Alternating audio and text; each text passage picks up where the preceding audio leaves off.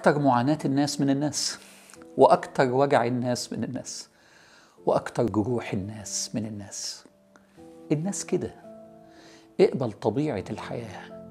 بتتوجع قوي والوجع بيزيد لما يكون الوجع جاي من الناس القريبة. أحيانا أمك أحيانا أبوك أحيانا جوزك. وفي ناس مش قادر تتعامل معاهم غير إن هم بيأذوك وما تقدرش تسيبهم. مديرك في الشغل. أتعامل إزاي مع الوجع؟ بالذات من الناس القريبة. تتعامل مع الوجع بطريقتين. أول حاجة تخلي بينك وبين الناس اللي بتوجعك حاجز من كلامهم وبين قلبك. مسافة. الكلام بيتسمع بس ما بيأثرش في قلبك. عارف عامل زي مين؟ عامل زي النبي صلى الله عليه وسلم لما قريش حبت تغير اسمه من محمد إلى مذمم. كلمة وحشة قوي مذمم. وجاء مذمم عاد مذمم راح مذمم والصحابة يتوجعوا. والنبي يقول لهم دعوهم. إنما يشتمون مذمما وأنا محمدا صلى الله عليه وسلم. حط حاجز دي الطريقة الأولانية. الطريقة الثانية ذكر الله. بص الآية بتقول إيه؟ آية رائعة.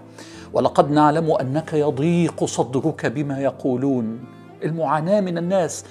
أعمل إيه يا رب؟ فسبح بحمد ربك وكن من الساجدين. بس. يروح الألم. عايز تتخلص من المعاناة؟ عيش بذكر الله.